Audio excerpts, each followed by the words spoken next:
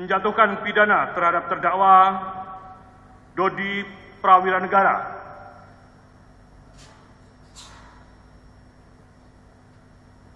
selama 20 tahun dan denda sebesar 2 miliar rupiah.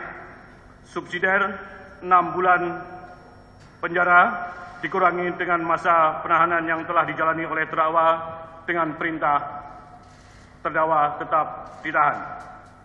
Tiga, menyatakan barang bukti berupa satu buah tas belanja warna merah di dalamnya terdapat satu bungkus plastik kecil berisi narkotika jenis sabu seberat 102 gram bruto telah dimusnahkan berdasarkan berita acara pemusnahan berita acara barang bukti, pemusnahan barang bukti tanggal 20 Desember 2022 dengan berat neto 87,4822 gram dan untuk pembuktian di persidangan dengan berat neto 9,3419 gram. B.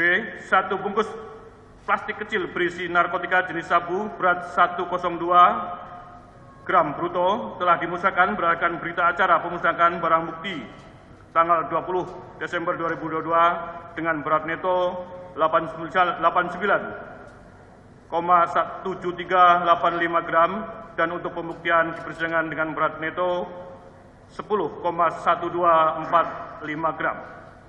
C. Satu bungkus plastik kecil berisi narkotika jenis sabu berat 101 gram bruto telah dimusnahkan berdasarkan berita acara pemusnahan barang bukti tanggal 20 Desember 2022 dengan berat neto 89,2051 gram dan untuk pembuktian di persidangan dengan berat neto 9,3720 gram.